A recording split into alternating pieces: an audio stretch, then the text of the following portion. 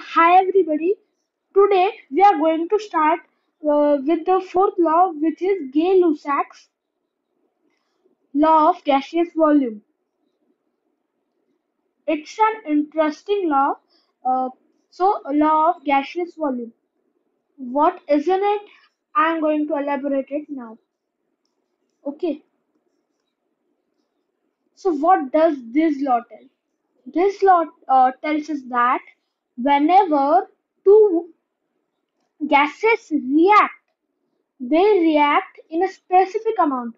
Whether there, it is a decomposition reaction means the from one compound the two gases are being evolved or it's a combination reaction. The two gases are reacting and one new compound is formed. They are there in a specific ratio by volume. So what does it say? Uh, does it law tells?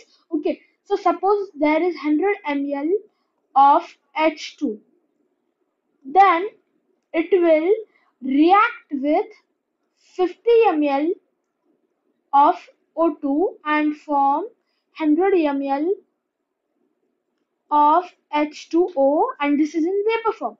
So this law tells that every time when 100 ml of H2O is formed, th there should be 100 ml of H2 and 50 ml of O2 in that reaction whenever 100 ml of H2O is formed.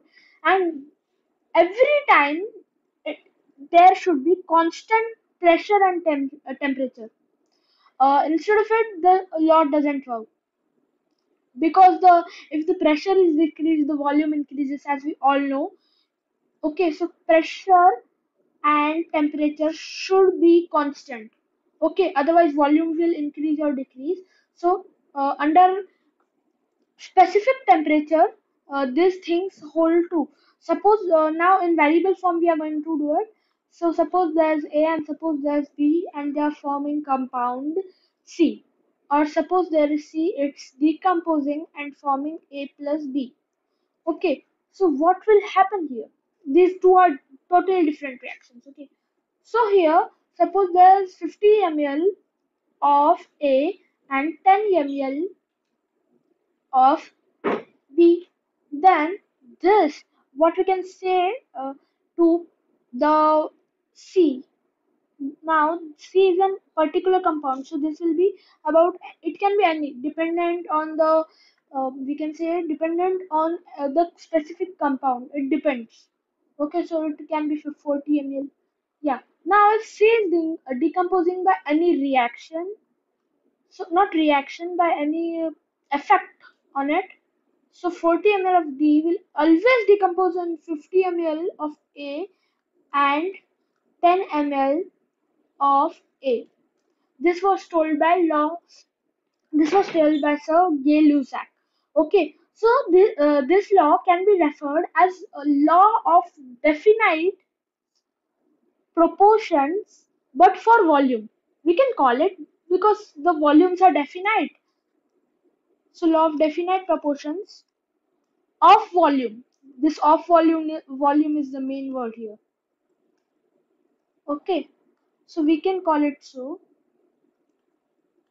Okay, so the same thing as law of definite proportions. They told that the we consider it in molecules. Two molecules we react with one, and here the same thing. This much amount of li uh, liquid gas, not liquid gas. This much amount of gas will react with this much amount of another gas. Okay so the same thing here also. Okay so here's the what we have learned. This is Lussac's law of gaseous volume. Okay this is also a very interesting law. Uh, before uh, leaving this video like share and subscribe. Okay like the video share to everybody to increase the family and subscribe bye bye so this is the snapshot of what which was taught in today's class.